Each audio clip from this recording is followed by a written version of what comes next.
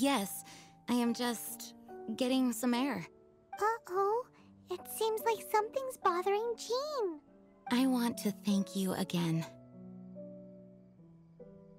It is good to be here together with everyone. It has lifted my spirits. And it has taught me something. What's that? I am definitely more of a Dandelion Knight than a Lion Tooth Knight. The Lion Tooth Knight represents Vanessa's past, a past in which she fought hard for Mondstadt.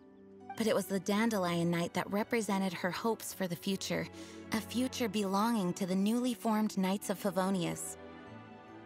I do believe that Vanessa watches over us, whether from high up above or from the wind all around us. Let the wind lead.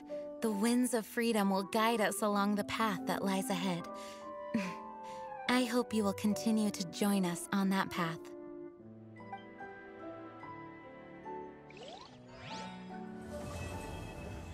You gotta try Dawn Winery's Dandelion Wine.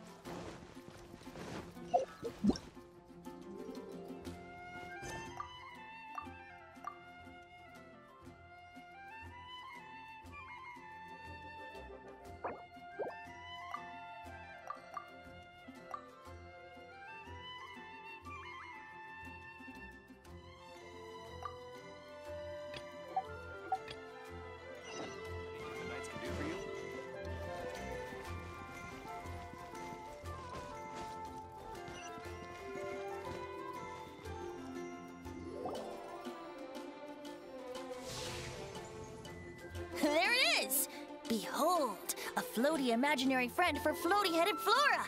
A bloaty floaty! Wait,